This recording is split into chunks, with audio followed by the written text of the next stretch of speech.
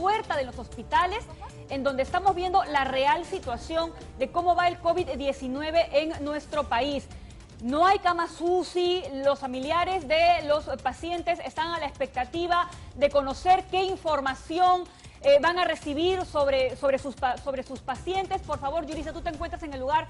Cuéntanos, las personas que están afuera, ¿qué están esperando? ¿Cómo se sienten ellos también ante el anuncio del presidente Sagasti? Paco, Pamela, así es. Bueno, para empezar a esta hora de la mañana nos encontramos en el Hospital Nacional Arzobispo Loaiza y aquí hay un un ambiente de incertidumbre ya que hay cambio de turno y los familiares de los pacientes contagiados por el COVID-19 no tienen información exacta de sus pacientes. Por ejemplo, eh, aquí la señora eh, nos contaba que su paciente ingresó ayer en la noche al área de COVID. Vamos a preguntarle, señora, ¿qué tal? Buenos días, te está conversando por teléfono. Ahora vamos a esperar que termine eh, la llamada porque precisamente ella estaba intentando contactarse con algunos médicos para que le informen cuál es el estado de su paciente. Estaba muy preocupada y como ustedes observan aquí en la puerta, en el área de emergencias, hay algunas personas preocupadas por esta situación. Vamos a conversar mientras tanto con otra persona. ¿Qué tal? Buenos días, una consulta. ¿Usted tiene un paciente COVID aquí en el hospital? No, tengo a mi abuelito por otro motivo, pero le han sacado la prueba de COVID gracias a Dios se salió negativo, ¿no? Bueno. Aprovechando ahora que usted está aquí, quiero preguntarle qué opina sobre el nuevo confinamiento. Bueno, que la verdad está bien, porque aquí en el hospital vemos que ayer llegué con mi abuelita y habían personas fallecidas adentro en tópico, en emergencia, que salen en, bolsas, ¿no? Entonces este, está bien, tenemos que cuidarnos, ¿no? Ingresado al hospital y ha visto la realidad por la que estamos pasando en estos momentos. Era ajena, ¿no? Igual que mi abuelito, no sabíamos, por eso le digo este, que se tiene que cuidar, porque la realidad es esta, que la gente se está muriendo por falta de oxígeno, porque llegan muy ya este, mal, en estado crítico, ¿no? Entonces hay que cuidar. Le quería preguntar también a usted, ¿a qué se dedica? De repente este nuevo confinamiento le va a afectar económicamente. Yo este, tengo este, un puesto, vendo alimentos de primera necesidad, ¿no? Entonces eh, también voy a, me veo afectada porque cómo me voy a movilizar y todo eso, ¿no? Sí. Va a reducir el aforo en los mercados en un 40% y como usted dice, movilizar la mercadería. Sí, como ah, la mercadería está un poco escasa, no no llega ha sido más, ¿no? Eh, si antes del confinamiento ha sido más, este, estaba todo caro, no ingresaba mucha mercadería, ahora me imagino que estará peor, ¿no? Se pondrá peor. Muchas gracias por su opinión y esperemos que su abuelito se recupere muy pronto. Sí, vamos a tratar de conversar, compañeros, con otras personas que se encuentran aquí en el hospital, en los exteriores. En realidad, caballero, buenos días. Una consulta. ¿Usted tiene algún familiar aquí internado por COVID? No, no, por COVID, por otra enfermedad. Por COVID no. Enfermedad. Aprovechando también que ahora converso con usted, quería preguntarle sobre el nuevo confinamiento. ¿Está de acuerdo o no? ¿Qué opinión usted tiene? Mm, ¿Sobre qué dijo? Perdón, disculpe. Nuevo confinamiento.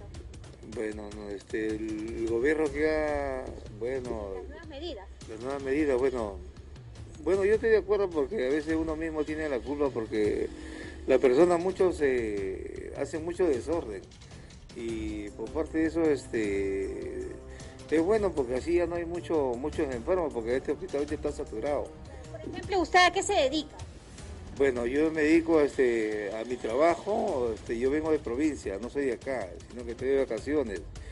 y por lo tanto este, tengo un paciente que ha estado delicado, le he llevado a este hospital, eh, hacerle todo su tratamiento y, por el momento va caminando, no por el momento, pero yo veo que adentro la, es un poco pésimo la atención. Veo que los pacientes están en los pasadizos, están con silla de ruedas. Usted también ha logrado ingresar al hospital. Por favor, cuéntenos un poco más qué es lo que usted ha visto. ingresé en varias oportunidades porque hay que esperar que la vigilancia llame.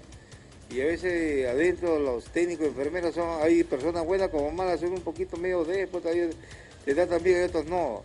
A veces uno no ve la realidad, no las personas que están adentro, pero en varias oportunidades que yo he entrado... Y, he tenido un poquito de, problema con la vigilancia de la puerta también. Entonces la situación aquí dentro del hospital es bastante crítica, ¿no? Usted ya ha visto ya pacientes en los pasadizos que no logran ser atendidos. Bueno, caballero, muchas gracias y esperemos que su familiar también se recupere pronto. Sí, dígame. Y a veces en varias oportunidades también a veces ni silla de ruedas lo, facilitan. No, se han caído varias personas y, y al ver que la prensa está viniendo continuo, al menos le están atendiendo porque para ellos es mala imagen para este hospital las críticas.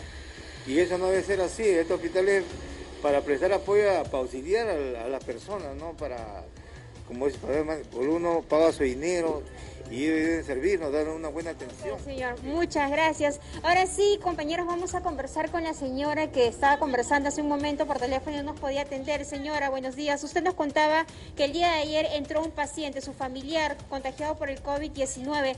Cuéntenos, por favor, cuál es la situación actual. Ahorita la doctora me llama y me pregunta solo los datos y no me dice su situación actual, cómo está. Yo quiero saber cómo está mi hermano y me ha pedido sus datos de sus hijas, de su señora y le he dado todos sus datos. La persona que ha ingresado, su mamá, su esposo, su hijo. Mi, hermano, mi hermano ha ingresado a las 11 de la noche. ¿Cómo se habría contagiado su hermano? Realmente no lo sé porque él entró a una clínica en la operación de próstata y ahí lo descubrieron cuando bajó la saturación. Y me lo he trasladado acá porque no tengo plata, doctora. Bastante difícil la situación por la que usted está pasando. Y quiero preguntarle, señora, permíteme por favor, si alguien también de la familia de su hermano se ha contagiado.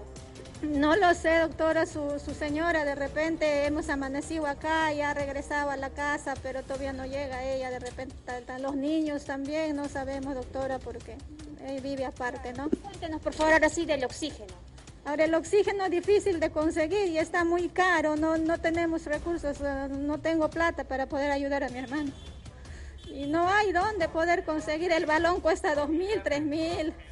No puedo, no puedo, no tengo económicamente. ¿Tu hermano necesita ingresar a UCI? No, me ha dicho que necesita, pero está en acá en área COVID, está con oxígeno en una habitación o está en la calle? Está en, una carpa. ¿Está en el patio? Sí, afuera en el patio. Sí.